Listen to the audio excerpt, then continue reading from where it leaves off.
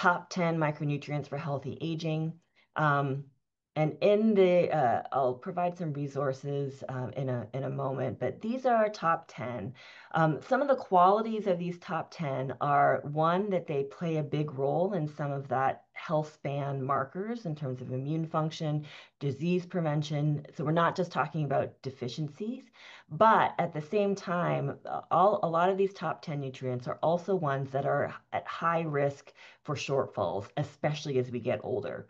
Right now, um, vitamin uh, D and calcium are really the only micronutrients that have an age-related, uh, uh, uh, older adult-related change. And we strongly believe that many of these nutrients also potentially should have a, a, a different, uh, an age or are age essential, um, basically, and may need um, a little bit more attention um, be, because of that. Um, in our top 10, we've also indicated ones that uh, especially need to be looked at uh, more closely in terms of your intake if, if you are, are uh, an older adult. So what are some of the consequences of not getting um, these, these key micronutrients? I'm going to talk about a couple different domains, um, especially in the immune function and around mitochondrial function as well. So we know that aging is associated with a compromised immune function.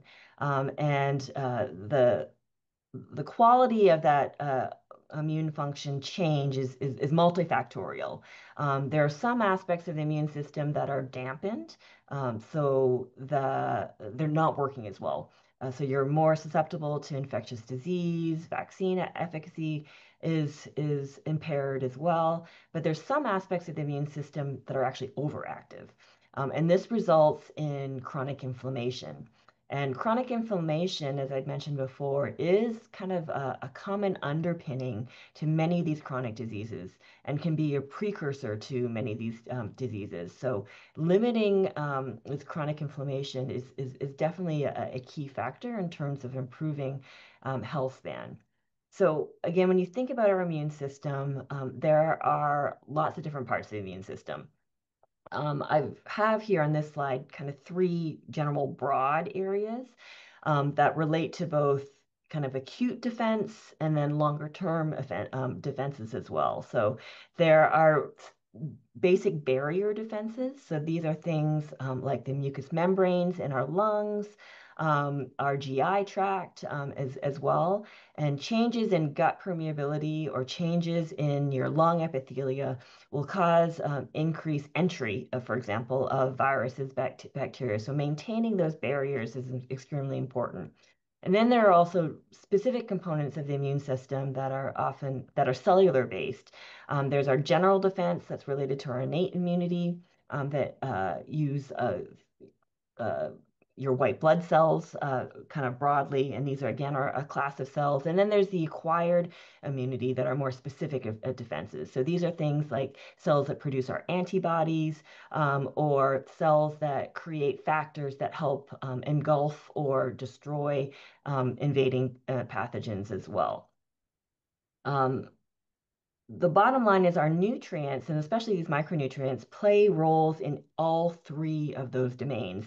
Um, and there are different micronutrients that play a role um, as well. So there may not be a single micronutrient um, that, that plays a role. So this is a, um, a figure from a recent paper that uh, myself and some other colleagues at the Institute and um, other partner universities uh, put together talking about um, micronutrients and, and its role in immune system. And I know this is very complicated, but the bottom line, it is complicated. Uh, and it's multifactorial in terms of different systems from barrier function, um, B cell, T cell function, um, that uh, various micronutrients work together to uh, optimize uh, our immune system and again uh, have that uh, resiliency. So making sure that you have adequate amounts of these micronutrients um, is really critical to maintaining a robust uh, immune system. And I'm going to give you some examples um, from some of my work. Um, so I do a lot of work with zinc. Um, zinc is a well-known uh, factor um, in terms of uh, plays a role um, in immune system. We also know that again, as we get older, um, there is complementary to the changes in our immunity. um, changes in our zinc status as well. So the prevalence of zinc uh, deficiency is um, potentially higher in older adults because it's a bit of a double whammy. One, older adults do tend to decrease their zinc intake along with their protein intake. Um, zinc often follows protein um, intake. But on top of that, even if you are getting um, X amount of zinc, um, there's increasing evidence that the ability for you to absorb and distribute that zinc um, as you get older is also compromised. So again, you're pretty, um, uh, as you get older, you're much more susceptible to not getting enough zinc. Um, zinc is also important um, in all three of these areas. Um, some of the work that we've done, so this is an animal model that we can show that um, older um, animals, so in this case, these are two month old, which are like a young adult, versus 20 month old mice, uh, which uh, is more like a 65, 70 year old. And we can see that even though we're giving them um, a purify a, a, diet that we think is optimal uh, and has everything it needs, these older animals, even though they're eating the perfect diet, look like they're zinc deficient. They, they're, they're, they're very low. On top of that, we also see that older animals have significant amount of this chronic inflammation. So this is interleukin 6, which is a marker of inflammation. Um, and uh, as they get older, they have much more underlying inflammation. What's interesting is if we supplement these uh, these mice uh, with extra zinc, um, we can bring their zinc levels back to that of young. And importantly, we can also um, pretty well obliterate uh, the chronic inflammation as well. Um, so again, this is some early work that uh, that we've done at the institute to really help, hopefully, establish the need for potentially more zinc um, as we get older to help limit this. Um, we've also done some other work uh, with uh, multivitamins. Um, so the, in this case, this one um, also contains zinc, but it also contains a whole uh, host of um, vitamins um, and minerals as well. Uh, and after uh, uh, several months of supplementation, we can see that um, in an older adult population that we're able to uh, decrease incidence of respiratory respiratory um, disorder uh, problems um, as, as well. Um, we also have done a lot of work with mitochondrial function. So one mitochondria, so this is the powerhouse of our cell, um, is known to also decline as we get older as well. And that has significant consequences on various cellular functions um, in terms of not only your bioenergetics, um, but also oxidant stress pathways. It can lead to chronic inflammation. Um, it can lead to um, controlled cell death of, of specific cells as well. And we also know that our micronutrients are highly critical in terms of maintaining our mitochondrial function. So uh, some of my colleagues at the Institute um, also did a multivitamin study to look at mitochondrial function. Um, and the first thing that we noticed, again, uh, we recruited healthy um, individuals um, to this uh, clinical trial. And one of the first things that we noticed is we asked for people who kind of self-reported as being healthy, trying to do everything right.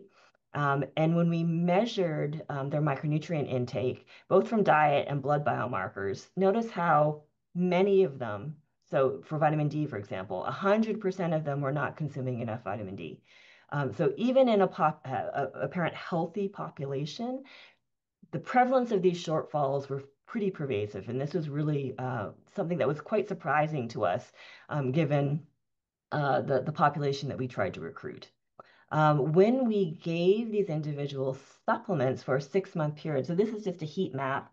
Um, on the left are uh, the group that got the multivitamins, and then on the right are the ones that are um, that got a placebo. You can see there's more green um, on the left versus the right, uh, which is not surprising that we were able to change the blood levels of micronutrients um, with the with the supplement that we didn't see in the placebo.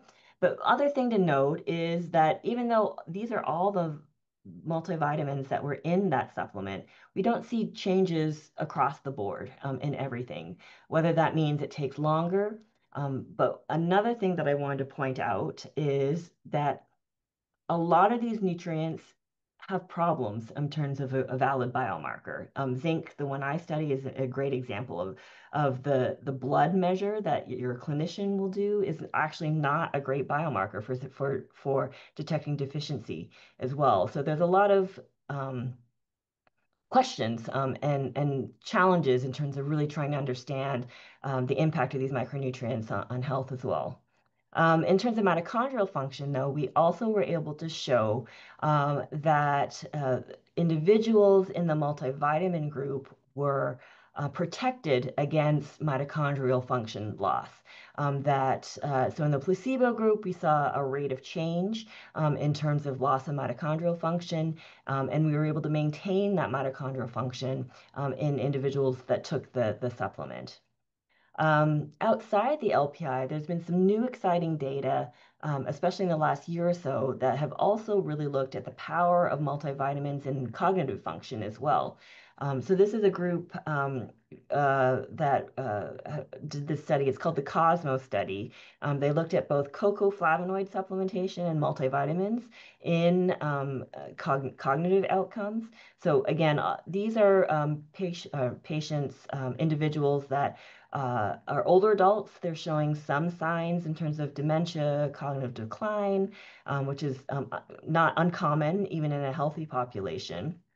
Um, and just taking this multivitamin um, seemed to have uh, quite a bit of, of power um, in terms of improving cognitive outcomes.